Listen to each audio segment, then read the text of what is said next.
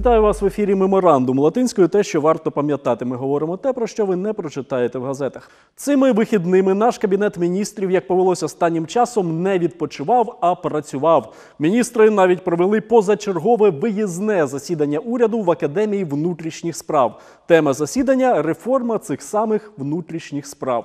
Головні спікери прем'єр Яценюк, міністр МВС Аваков, чарівна перша заступниця міністра Катерина Згуладзе, які всі звуть просто екою, і чомусь нинішній керівник фракції блоку Порошенка в парламенті Юрій Луценко.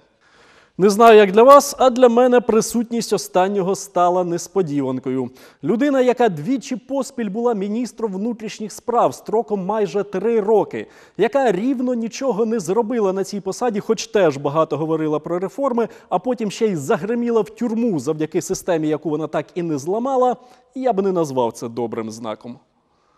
А от на чарівну еку, на відміну від Луцика, можна дивитись не втомлюючись. І чарівна ека сподівання таки виправдала. Увагу багатьох привернули поліцейські послуги, які запропонувала впровадити ека, і які, за словами замміністра, кожен має розуміти по-різному. Но для меня самое главное – появление термина «полицейские услуги». Что это значит? Это каждый может понять по-разному. Я предпочитаю самое обширное эм, э, восприятие этого термина. То есть ваша проблема, наша проблема. Что все, что волнует население, это полицейская услуга, и полицейский должен предоставлять эту услугу. Начиная с того, а, кто-то потерялся, нужно показать дорогу, да, это тоже функция полицейского. Кому-то нужна первая а, медицинская помощь, да, это тоже функция полицейская. Полицейские услуги – это то, что вы принесете на улице Киева уже в июне. От щодо розуміти поліцейські послуги по-різному, тут ека влучила на всі 100. А чи можна буде замовити ось такі поліцейські послуги?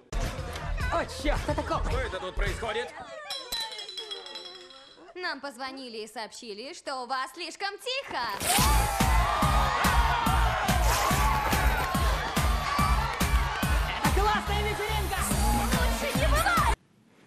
Это то, что вы принесете на улице Киева уже в июне. А можливо, чарівна ека мала на увазі такі послуги, коли кожен український коп зможе прийти на допомогу матері, чий неслух не хоче йти в школу. Вам помочь, мэм? Да, сэр. Мой сын Брайан всегда опаздывает в школу. Не могли бы вы поговорить с ним? Может, слегка попугать. С удовольствием. Брайан, Уже почти 8.00. Пора выдвигаться к школе. Пойду, когда захочу. Сейчас захочешь, мистер.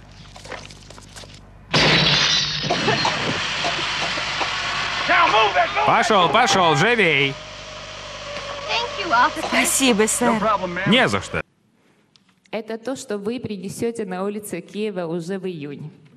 А тих поліцейських, які будуть займатися корупцією і які взагалі негарні хлопчики, будуть відправляти, ну ви знаєте куди.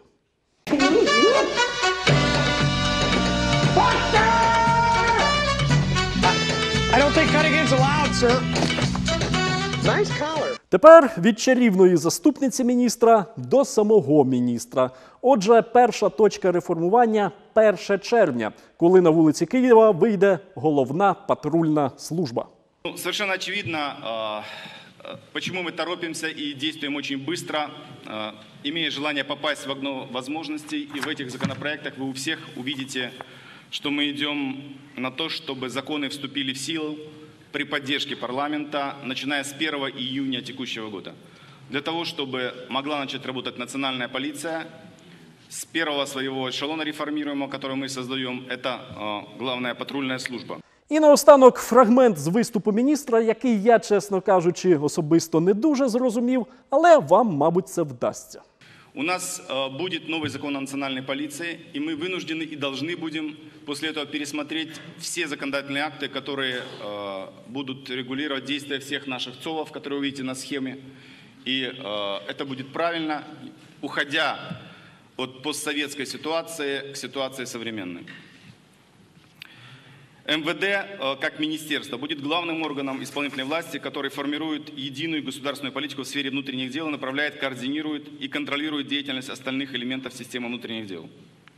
Таким образом, необходимость принятия данного закона обусловлена созданием новой системы органов внутренних дел и налаживанием эффективного контроля их деятельности, созданием самостоятельного центрального органа исполнительной власти национальной полиции.